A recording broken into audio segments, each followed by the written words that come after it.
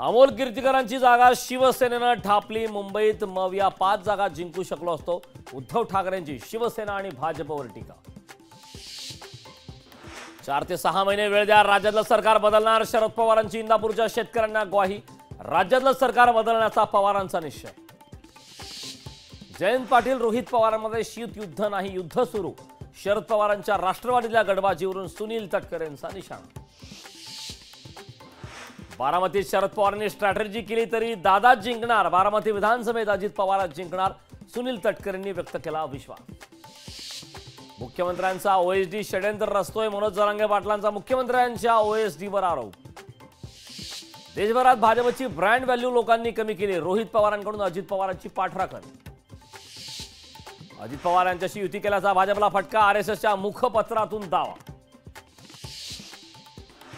खासदार बळवंत वानखडे यांनी दिला आमदारकीचा राजीनामा. विधानसभा अध्यक्ष राहुल नार्वेकर यांच्याकडे दिला राजीनामा. प्रेमा खांडू अरुणाचल प्रदेशचे पुन्हा मुख्यमंत्री होणार. प्रेमा खांडूंची भाजप विधिमंडळ पक्षाच्या नेतेपदी निवड. लोकसभा निकालानंतर अयोध्येत भाविकांची संख्या रोडावली रिक्षावाल्यांसह छोट्या व्यावसायिकांवर संक्रांत. तिसऱ्यांदा पंतप्रधान झाल्यानंतर मोदींचा पहिला विदेश दौरा. पंतप्रधान मोदी इटलीमध्ये जी सेवन शिखर परिषदेत सहभागी होणार. शिवराम आल्याचा पुन्हा मुस्लिम धर्मात जाण्याचा निर्णय मागे. भाजप आमदार नितेश राणेंसोबत फोनवर चर्चा केल्यानंतर निर्णय मागे. मोहनचरण मांझींनी ओडिशाच्या मुख्यमंत्रीपदाची घेतली शपथ. मांझींसह आठ आमदारांनी कॅबिनेट मंत्रिपदाची घेतली शपथ. महाविकास आघाडीला नाशिकमध्ये दिलासा. शिक्षक मतदारसंघातून दिलीप पाटलांची माघार. महाविकास आघाडीचा धर्म पाळण्यासाठी दिलीप पाटलांची माघार.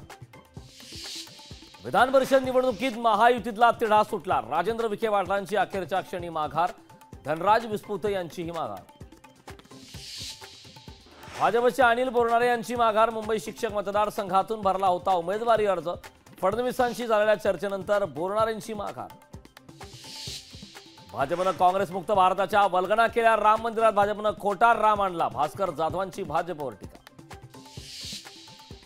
नाशिक शिक्षक मतदारसंघातील अपक्ष उमेदवारावर छापे विवेक कोल्हेंच्या शिक्षण संस्थांवर शिक्षण विभागाचे छापे उत्पादन शुल्क विभागाचेही साखर कारखान्यावर धाड सत्र नाईक पारकरांनी विनायक राऊतांचं काम केलं नाही वैभव नाईकांनी विनायक राऊतांना पाडल्याचा समीर नलावडेंचा आरोप.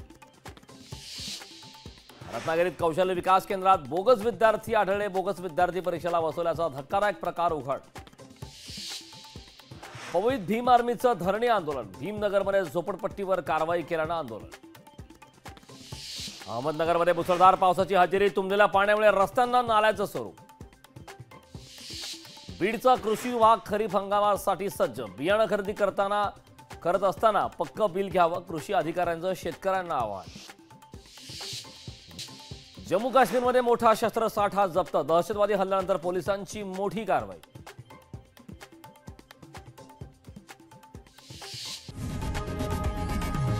लोकशाही मराठी. ऐका पहा जागरूक रहा.